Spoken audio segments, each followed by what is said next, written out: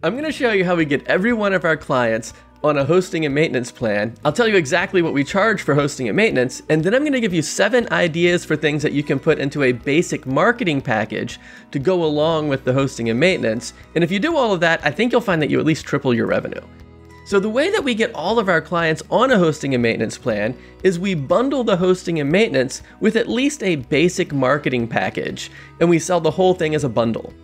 For the hosting and maintenance, we actually use a managed WordPress host, which is a little bit more expensive, but it's okay because we charge $100 per month for hosting and maintenance.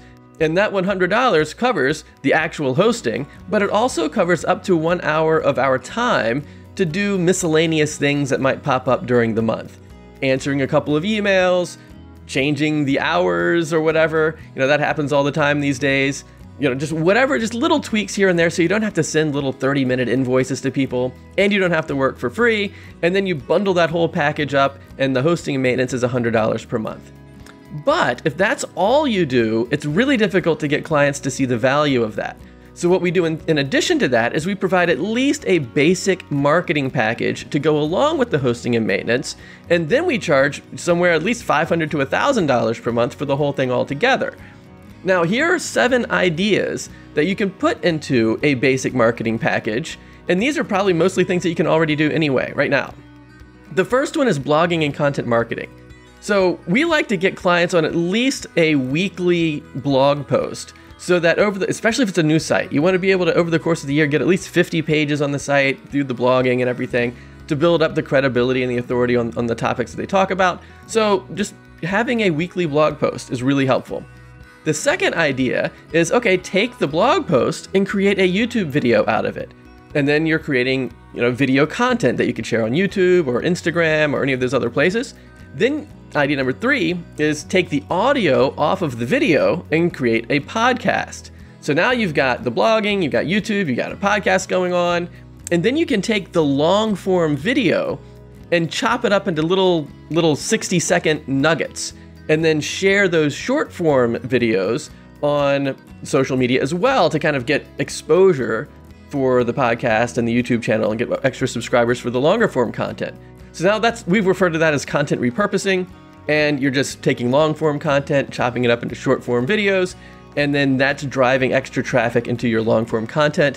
So that's thing number four. If you're liking this, please thump the thumb for me because hitting the like button helps other people discover the video. The fifth thing is email list building definitely put an email opt in on the client site with some kind of a lead magnet that's something interesting that they would be able to download or get access to in exchange for their email address. So now you're building an email list.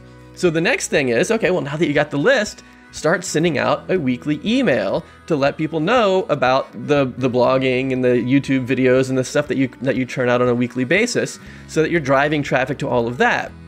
And then in addition to that, the last thing, the seventh thing, are drip campaigns. So as people sign up for the lead magnet, send out a sequence of three to five lead nurturing emails to kind of help people understand what your client does and kind of and kind of warm up and nurture the client to the point of taking some form of call to action.